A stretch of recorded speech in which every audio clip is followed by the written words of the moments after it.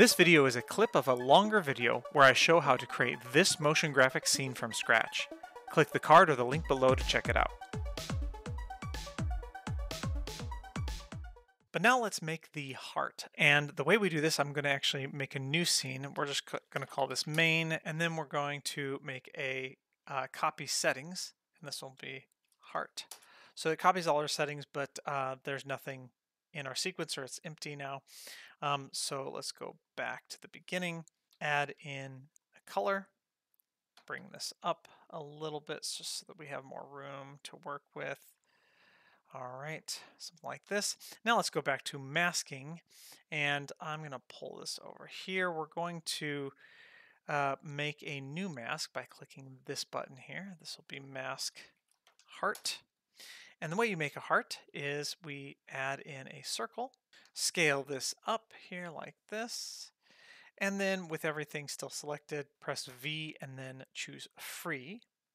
And then select these two, shift select those handles there, press G, Y, and then 2, and that's way too far, so escape out of that. So G, Y, and then point zero two.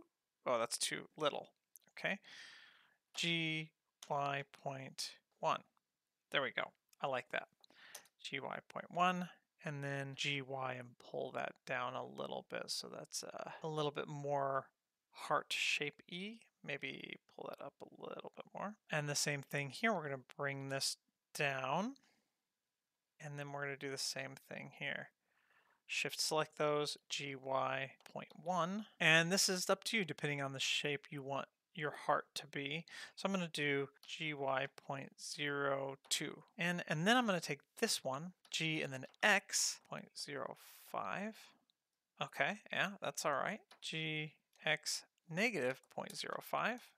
And the reason I'm doing it like this instead of clicking and dragging them is because I want it to be accurate. I want it to be a specific heart shape. Let's take these two here and then scale them down in a little bit. I guess we could also take these, and actually that would be easier, just scale them on the X in or out. Yeah, okay, that's actually a lot easier. Well, there you go. There's multiple ways you can you can do that there. Let's see what we have with our overlay, and then turn off the spline. Eh, it's not quite the heart that I was going for. So that's kind of more of what I.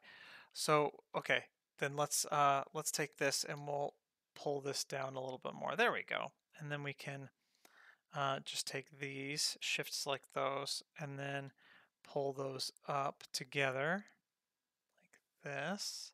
And then scale them on the X, and we can scale them in towards each other. Yeah, there we go, something like this. Uh, we could do we could do it out more like this, and then maybe take these, and then grab and move those down. Oh yeah, here we go. We're getting somewhere. We're getting somewhere.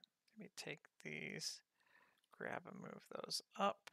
It's not it's not as nice as I, I got this one to be.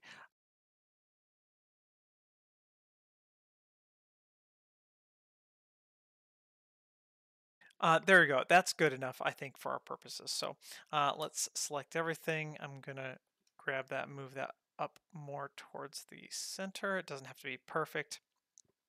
But there we go. There is our heart mask. And now if we come back to video editing and we duplicate this up, change the top one to white, and then go to modifiers, add strip modifier mask, mask, and mask heart. Ta-da! Find this video and a whole lot more by going to my new website, blenderfrenzy.com, where you can access lots of free and members-only content, including extra tutorials, downloads, assets, blend files, Q&A live streams, and much more.